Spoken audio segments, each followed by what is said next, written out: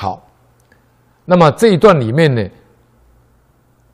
有一个重点啊，除了刚才我们在字解说里面有解释一大师因缘跟三昧以外，这里面还有一个重点呢，一段重点就是修慧必以见性明中，修福必以五常百恨，这什么意思呢？为什么这个修福呢？他这个地方要提到说，必以五常百横呢？我们这里引用净空老法师常跟我们讲的，他说现在事实上已经没有小圣了，现在必须呢以这一个儒家的经典啊，就扎三个根。啊，来做基础。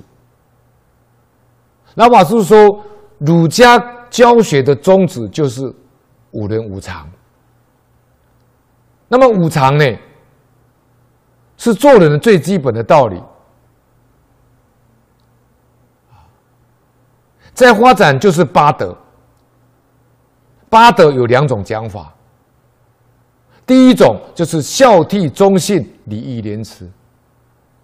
第二种是忠孝仁爱信义和平，啊，这个地方，那我是告诉我们，八德就是这两种讲法，啊，我们把这两种讲法合起来，除掉重复的，这重复里面有什么呢？有忠，有信，啊，有义，啊，等等。除掉这些重复的，老法师说，只有十二个字，就是孝悌忠信、礼义廉耻、仁爱和平，这十二个字，啊，这十二个字呢是信德。我们起心动念、言语造作、处事待人接物，不能够违背这十二个字。要与它相应，你与它相应，信德就显现。那么我们说借修德显信德，修德就是跟伦理道德不相应的这种妄想习气要放下来，要改掉，要舍弃。你只要把这些跟伦理道德不相应的毛病习气把它改掉，把它断掉。把它舍弃，你的信德就会显现出来。所以，为什么这十二个字跟信德有关？这十二个字都是我们儒家讲的。所以，这个地方讲说，这个地方讲说，修武必以五常百恨啊！啊，你如果能这样去做，诸火定你净土受之啊，净土就是我们的信德啊。所以，老法师说，你能够。这样明白，把跟伦理道德不相应的这些毛病，你把它改掉，你的性格就会开显出来。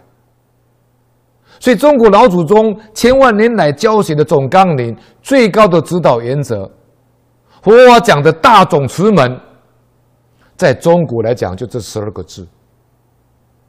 这十二个字，你要是真做到了，你过的是天人快乐的生活。如果你能够看破放下，你过的是诸佛菩萨的生活，哪有不快乐的道理呢？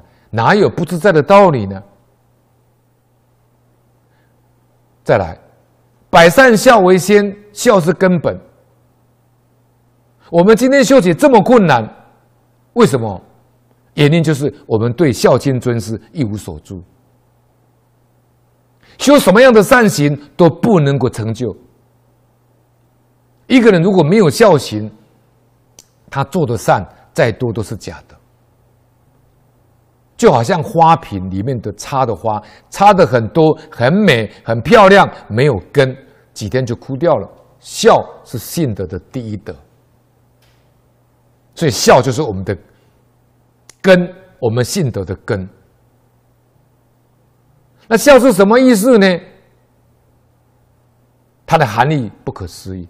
中国文字充满智慧，中国文字之美，文字之善，全世界任何一个国家民族都不能够相比的。它是会意字，上面是老，下面是子，这是指两代，上一代跟下一代是一体的。现代人讲的是代沟，中国教育里面没有，没有教育就有代沟，有良好的教育，代沟就没有了。上一代跟下一代紧密结合在一起，上面还有上面，下面还有下面，重重无尽。过去无始，未来无终。过去无始，未来无终，就是信德啊，就是我们的自信呢。你明白这个道理，才明白为什么要祭拜祖先，为什么要慎终追远，因为它是一体的，不能够切草的。啊，这是从重的方面来说。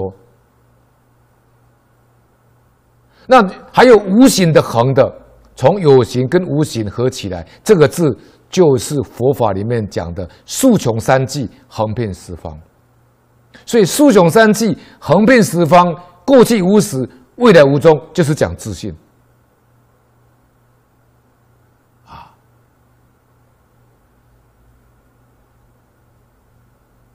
整个宇宙法界虚空一切万物都跟我是一体的，整个宇宙法界虚空界一切万物跟我一体，是我的字体。让人看到这个笑这个符号，就体会笑是这个意思。笑是宇宙万有一个共同生命体为本，不是以个人为本，个人只是这个本体里面的一个小分子。老子说。天地与我同根，万物与我一体，就是以这个做根本的概念，就是以这个孝为根本的理念。所以中国传统文化呢是孝的文化，以孝为本体。所以中国传统文化讲体、中、去，从孝延伸出去五伦、五常、四维、八德，这是中。以修身齐家治国平天下为趣，大圣佛法讲体相用，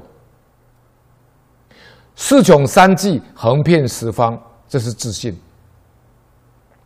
自信是从体上讲，宇宙是从相上来说，大慈大悲是从作用上来讲。中国的老祖宗讲的跟大圣佛法相应。所以，孝就是实相。由此可知，佛法不是迷信，也不是宗教，是就近圆满的教育。所以这一段呢，老法师的开示呢，就符合我们这段经文里面“修福必以五常百恒，修慧必以见性明中”。